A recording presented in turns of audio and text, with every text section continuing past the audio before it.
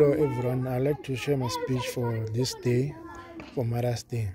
Today I've got a tremendous opportunity to express my feelings towards my mother and all the mothers of the world through these not so great words of mine.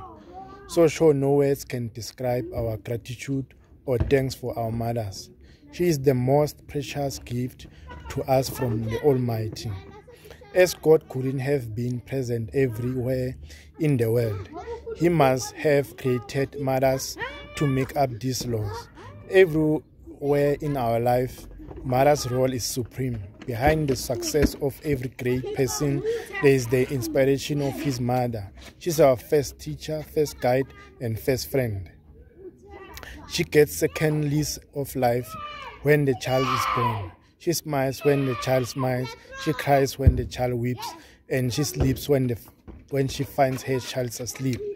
Her great source of happiness is the happiness of her child. She is contented. She's contented uh, if her child is so. For her, the whole world is her children and family. She does everything to please each and every member of the family. In lieu of that, she doesn't want anything. We also take her and all efforts for us for granted. In in a way, she does a thankless for a thankless job for us. No wages, no holidays, non-stop work for 365 days a year. She is the only creature of the world before whom even the God bows.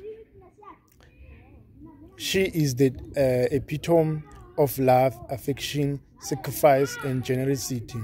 Her presence in the world provides solace to the suffering humanity. Her smiling face removes all sorrows and frets of the world. Mothers are a constant source of strength for fathers as well. Fathers seek them in forming opinion and making all important decisions of life. Without mothers, fathers are incomplete. So, in a way, she's the nucleus of the family. No mother, no family, no family, no society. And no society, no country, no world, and no existence of human being. I can't say more beyond that. Thanks for listening with such a great patience. Happy Mother's Day.